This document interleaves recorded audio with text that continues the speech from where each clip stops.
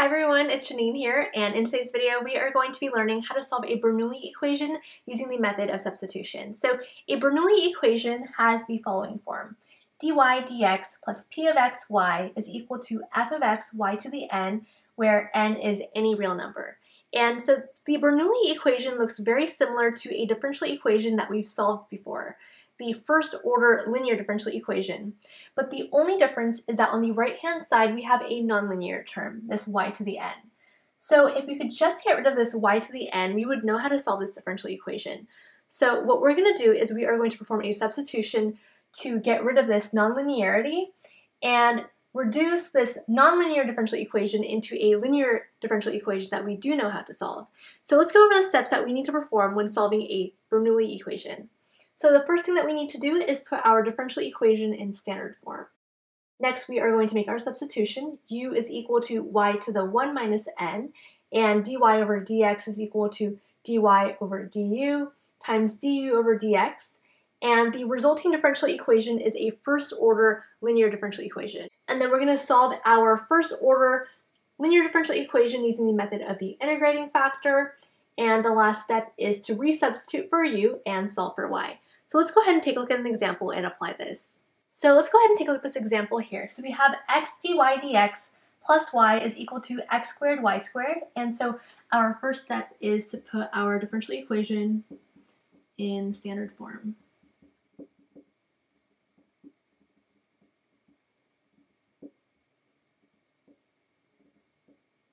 So what we're going to do is we are going to multiply our entire differential equation by 1 over x. So doing that, we get dy dx plus 1 over x times y is equal to x y squared. And then in our next step, we are going to substitute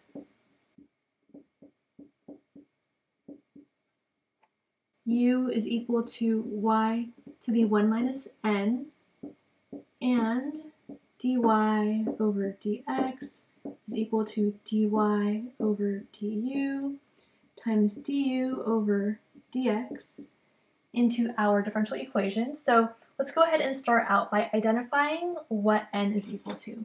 So n is just the exponent on our nonlinear term. So we have this n is equal to 2. So we have u is equal to y to the 1 minus n, and n is equal to 2. So we have u is equal to y to the negative 1, or y is equal to u to the negative 1. And now let's go ahead and find out what dy dx is equal to. So we have dy dx is equal to the derivative of y with respect to u. So we have y is equal to u to the negative 1, so taking its derivative, we have negative u to the negative 2, and then we have du over dx. Now let's go ahead and substitute u and dy dx into our differential equation. So here we have dy dx, and this is equal to this thing here. So we have negative u to the negative 2 du dx plus 1 over x times y, so y is equal to u to the negative 1, and this is equal to x y squared. So this y is equal to a u to the negative 1. So let's go ahead and simplify this. So we have negative u to the negative 2 du dx plus 1 over x u to the negative 1 is equal to x u to the negative 2. And now as our next step, let's go ahead and put this into standard form. So let's go ahead and multiply this entire differential equation by negative u squared. So doing that, we have du dx minus 1 over x times u, and this is equal to negative x. So now we have a first order linear differential equation that we can solve using the method of the integrating factor. Now let me go ahead and erase this so we have a little bit more space. So now we have a first order linear differential equation. So let's go ahead and proceed as usual. Whenever we have a first order linear differential equation, we first start out by identifying what the integrating factor is equal to. And remember that the integrating factor is e to the integral of p of x dx. So we need to go ahead and identify what p of x is equal to, and p of x is this right here. Okay, so we have e to the integral of negative 1 over x dx, and this is equal to e to the negative ln of x, and now let's go ahead and move this negative sign up to the exponent, so we have e to the ln of x to the negative 1, and this is just equal to x to the negative 1, which we can rewrite as 1 over x. And let's go ahead and define x on the interval from 0 to infinity so that we don't have to worry about the absolute value. So our next step is to multiply our entire differential equation by the integrating factor. So let's do that.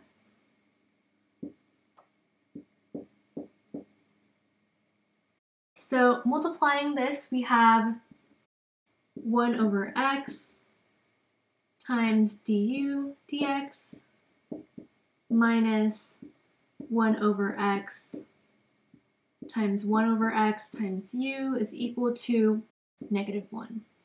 And so this left-hand side is equal to the derivative with respect to x of the integrating factor, which is 1 over x times u, and that's by the product rule.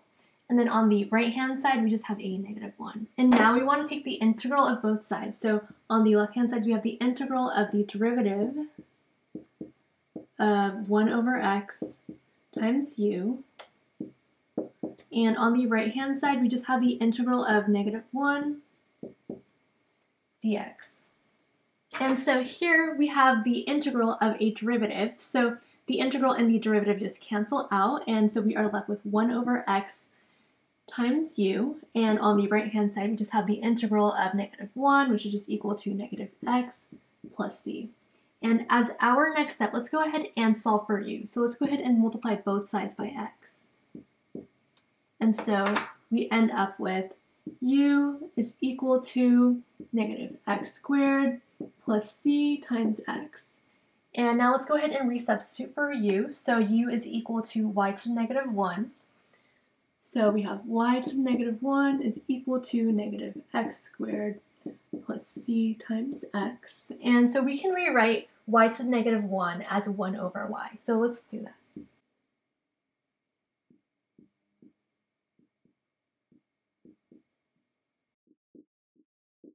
And as our last step, let's go ahead and solve for y by taking the reciprocal of both sides of our equation. So we have y is equal to 1 over negative x squared plus c times x. And that is our final answer. And so that is how you solve a Bernoulli equation using the method of substitution. Thank you guys so much for watching. If you guys have any questions, please feel free to leave them in the comments down below, and I'll see you guys next time. Bye.